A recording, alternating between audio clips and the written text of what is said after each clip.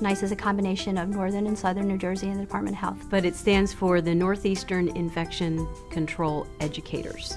Well, we were challenged in 1989 by our state sanitarian to provide education when CDC stopped providing basic infection control education. In the first meeting that we had in an auditorium at my hospital at the time, there had to be about 80 of us. And then it dwindled down to about 15 people.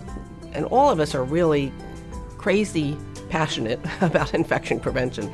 And we put the program, the curriculum together based on the needs of the uh, infection prevention what was going on in the industry.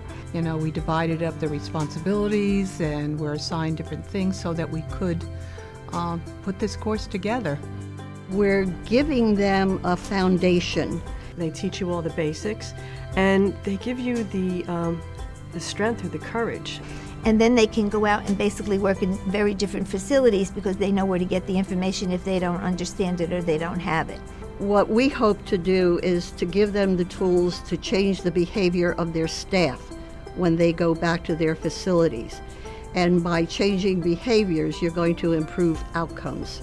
And that's what we're all here for, make it better for the patient. Once these ladies get on here, they really love what they do, they're really passionate about what they do, and uh, they stay. It's been very rewarding for those of us who are on the faculty to go out and see a young ICP who's taken the course and who's out there and loves it and really does the job. And um, that, that's, that's the very rewarding part of the whole course. And, and I think um, the impact has been an improvement in healthcare outcomes in the whole region.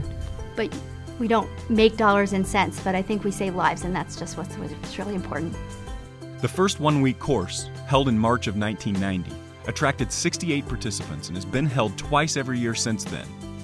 Over the past 20 years, the group has trained more than 3,000 new IPs and includes attendees from across the U.S. as well as other countries.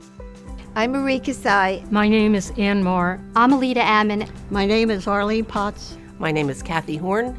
My name is Nancy Salaji. I'm Winnie Caputo. My name is Renee Fusco. And I'm a difference maker. I'm a difference maker. And I'm a difference maker. I am a difference maker. And I'm a difference maker. And I'm a difference maker. And I'm a difference maker. I am a difference maker and proud of it.